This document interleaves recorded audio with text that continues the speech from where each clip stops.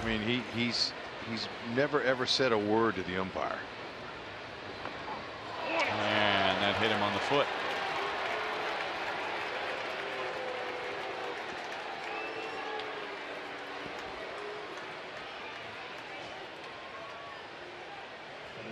Now the Royals need base runners and they have to take them however they can get them.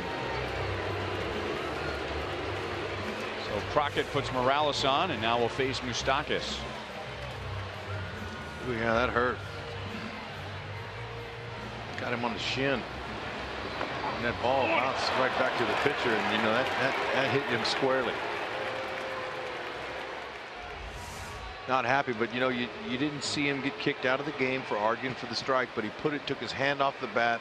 He he made an outward display to the umpire that he was not happy, and that's the first time I've seen that in 559 at bats from Morales.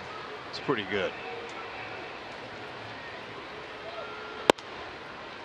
Fastball strike to Mike Moustakas. He is one for three. He doubled into the left field corner in the fourth inning. He's also lined out to right. So hitting the ball hard to all fields again. Way outside. The Indians are one of the teams, despite Moustakas spraying the ball around much more this year than in years past. They continue to play him to pull and stack the right side with three infielders. So Lindor, the shortstop, is like a.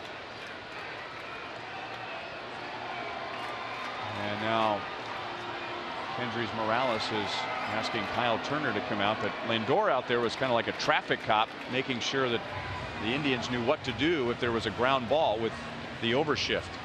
Yeah, no, that that uh, that really hurt Morales. He did a good job of masking the pain. But that ball, when, whenever you can you can tell by where the ball bounces after it hits a guy, whether he got it cleanly or not. And when that ball bounces back to where it came from, that means it went right off right off his bone. And he's gonna have to sit the rest of this one out. Get some ice on that shin.